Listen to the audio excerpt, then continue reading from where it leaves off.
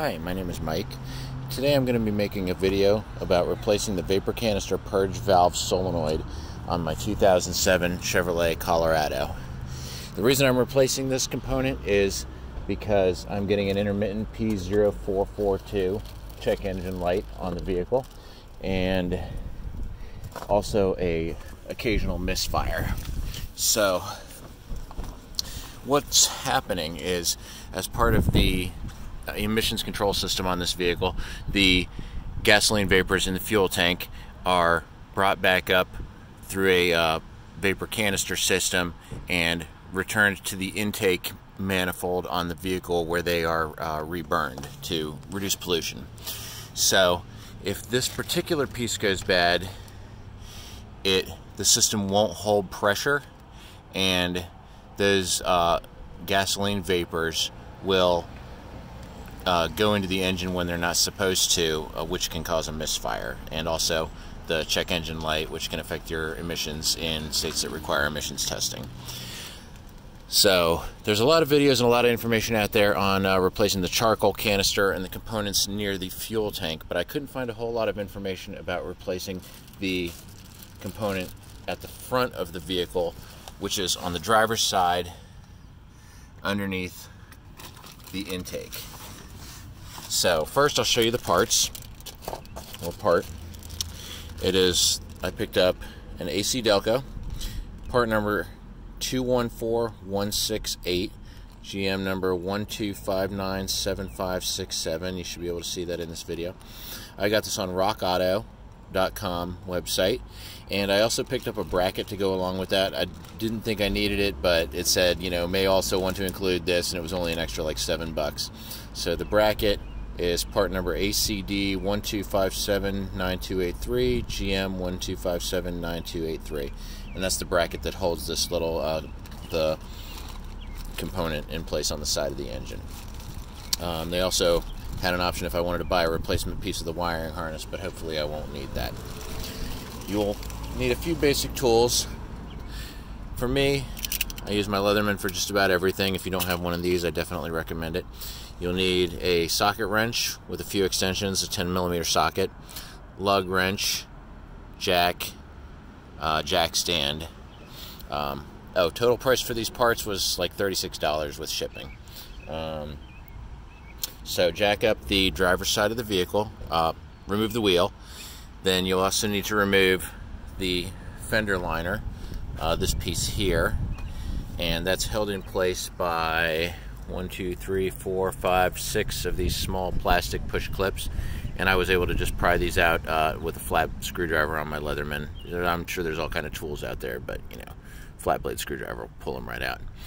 Um, and that comes out around this area, so it gives you access, direct access to where the component is located on the driver's side underneath the intake manifold. You can see it there. Let's see if I can. It's a tight fit uh, from what from my research, I was able to gather that this would be a pretty tough thing to uh, get my big hands onto. But you can see here's the piece right here.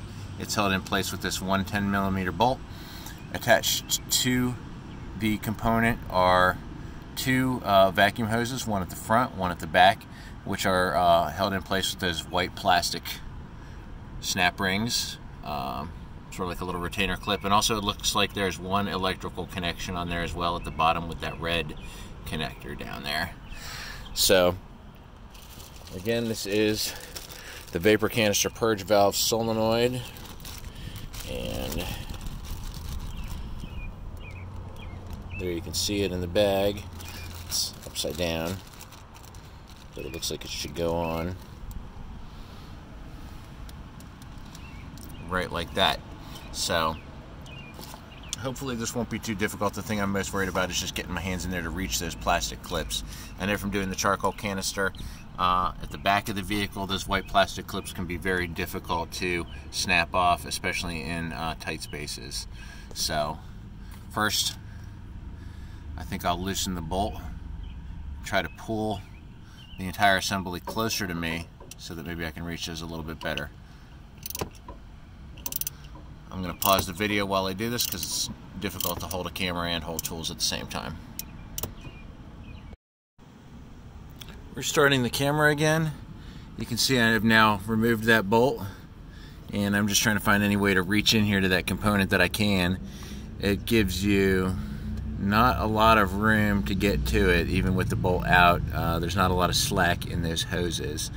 So I'm going to pause the video again while I try to get this uh, red clip and those two hoses off of there. There'll probably be some cursing involved that I don't feel like being demonetized on YouTube, so I'm going to pause the video again while I struggle with the, those three components, the two hoses and the red electrical connector. Starting the camera one more time. I was able to get that uh, electrical connector off as well as the top hose. Those turned out to be a little bit easier than I thought.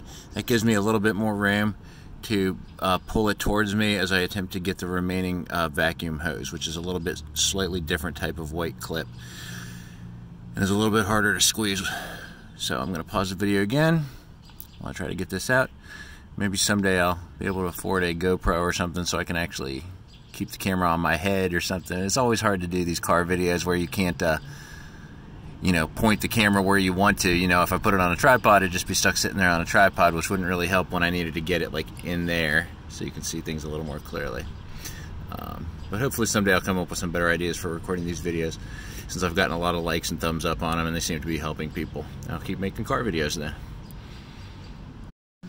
Alright, so here you can see the old piece and the new piece. The old piece at the top, obviously it's still got the bracket attached, and the new piece is at the bottom.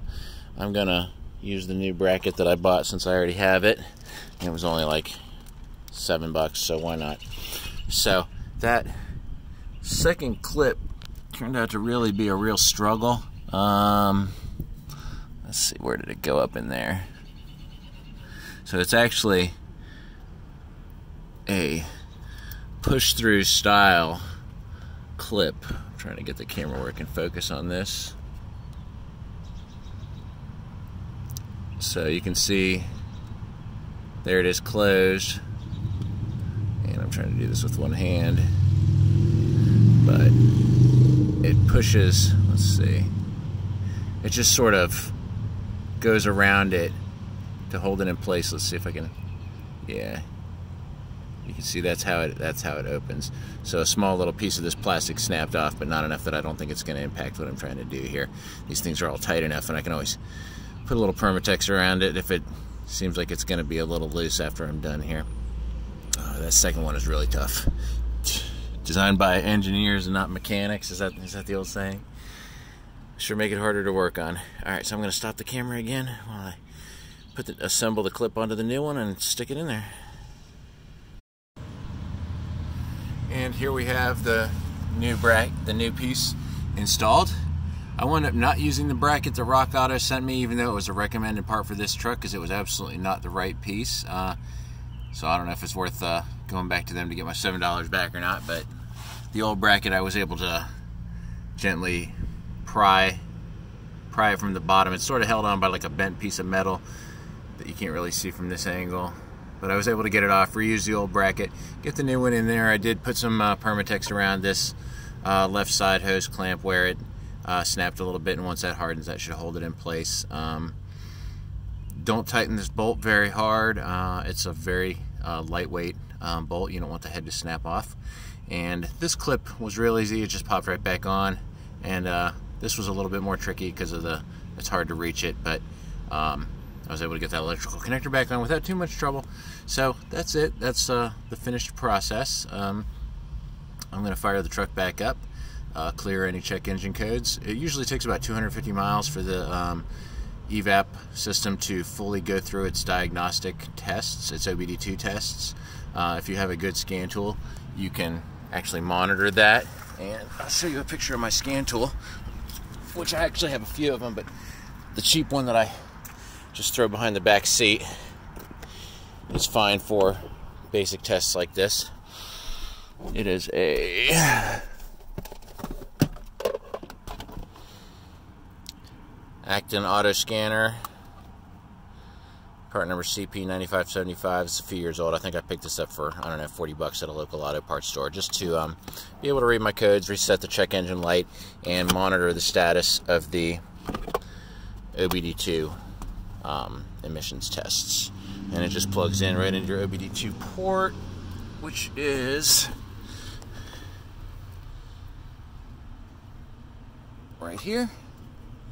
But that's a subject for a whole other video. So let me get this button back up before it gets dark. Fire it up. Hope everything runs well and I don't get any more check engine lights.